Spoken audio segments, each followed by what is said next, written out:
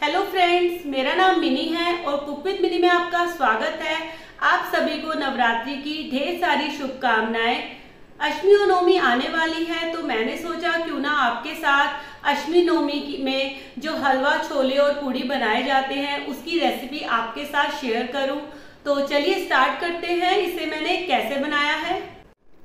एक cooking pan ले लें और उसमें सबसे पहले हम ऑयल डालेंगे। यहाँ three to four tablespoon जितना मैंने ऑयल डाला है, आप इसकी जगह देसी घी का भी यूज़ कर सकते हैं।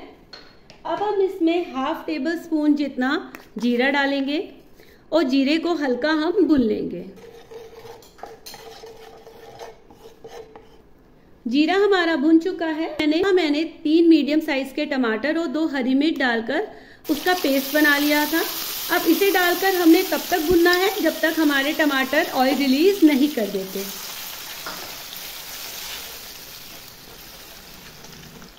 साथ ही साथ यहाँ मैं हाफ़ टेबल स्पून जितना सॉल्ट डाल रही हूँ। अगर आप हाफ़ टेबल स्पून जितना यहाँ मैं रोस्टेड जीरे का पाउडर डाल रही हूँ।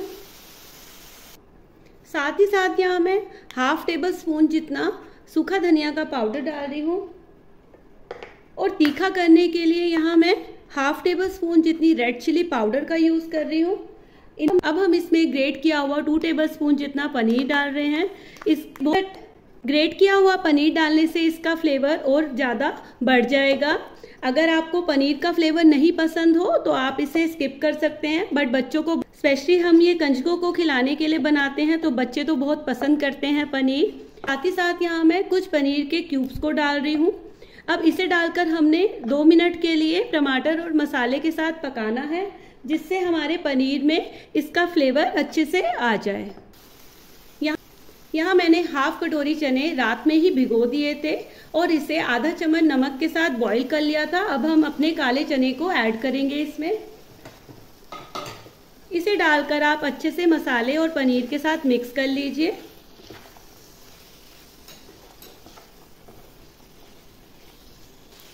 चने हमारे मसालों के साथ अच्छे से मिक्स हो चुके हैं। अब गैस का फ्लेम आप स्लो कर दीजिए और पाँच मिनट इसे ढककर पकने दीजिए। पाँच मिनट हो चुके हैं, चने हमारे पक चुके हैं। अब हम इसमें हाफ़ टेबल स्पून जितना गरम मसाला डालेंगे, ये ऑप्शनल है। साथ ही साथ यहाँ मैं फ्रेशली चॉप हरा धनिया डाल रही हूँ, ढेर सारा। हरा धनिया का फ्लेवर बहुत ही अच्छा आता है। अब इसे डालकर आप एक बार मिक्स कर लीजिए। अगर आप इस बार मेरे तरीके से चने बनाएँगे ना तो आई एम श्योर बच्चे बार बार मांगकर आपसे खाएँगे। और अगर बच्चे खुश हैं तो माता रानी तो अपने आप ही खुश हो जाएँगी। तो चलिए, इस बार आप मेरे तरीके से ज़रूर चने बनाइएगा और कमेंट कीजिएगा। और अगर आपको मेरी रेसिपी पसंद आएगी तो please like, share, comment and subscribe ज़रूर किया कीजिए। चने हमारे पक चुके हैं, अब हम हलवा बना लेते हैं। अब एक अलग पैन लेकर उसमें एक टेबल स्पून जितना यहाँ मैं देसी घी डाल रही सबसे पहले हम ड्राई फ्रूट्स को शेलो फ्राई करेंगे। यहाँ मैंने किशमिश डाली है। साथ ही साथ कुछ काजू के पीसेस डाले हैं।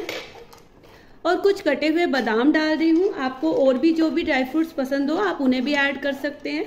साथ ही साथ स्लिट किए हुए यहाँ पे मैं सूखा नारियल डाल रही हूँ। एक मिनट के लिए इसे हमने स्लो फ्लेम पर भुनना है।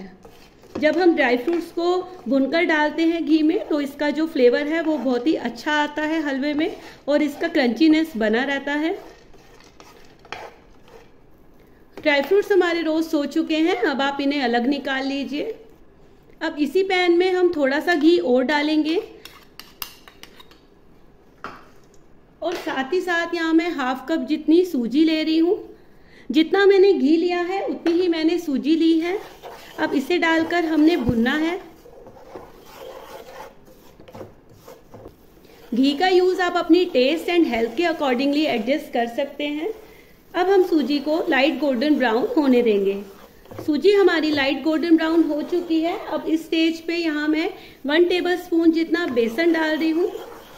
बेसन डालने से हलवे का फ्लेवर और ज़्यादा बढ़ जाता है तो आप इसे ज़रूर ऐड कीजिए। अब इसे डालकर हमने सूजी और बेसन को गोल्डन ब्राउन होने देना है।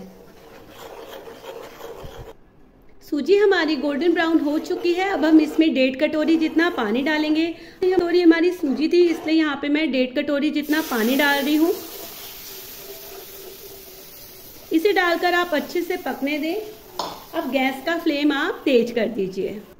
एक उबाल आने तक हम इसे तेज आँच पर ही पकाएँगे। साथ यहाँ मैं एक इलायची को कूट कर डाल रही हूँ। इसका फ्लेवर बहुत ही अच्छा आता है हलवे में। बॉईल आ चुका है। अब गैस का फ्लेम हम धीरे करके इसे ढककर तब तक पकाएँगे जब तक कि पूरी तरह से पानी ड्राई नहीं हो जाता। पानी हमारा ड्राई हो चुका है, अब हम इसमें शुगर ऐड करेंगे। यहाँ हाफ़ कप जितनी मैं शुगर ले रही हूँ। अब इसे डालकर हमने मिक्स करना है और साथ ही साथ हम उन ड्राई फ्रूट्स को भी डाल देंगे, जो हमने फ्राई किए थे अब इन्हें डालकर आप मिक्स कर लीजिए अच्छे से, जब तक कि शुगर हमारी अच्छे से मेल्ट नहीं हो जाती। मेरे घर में हलवा हल्का लाइट कलर का बनता है।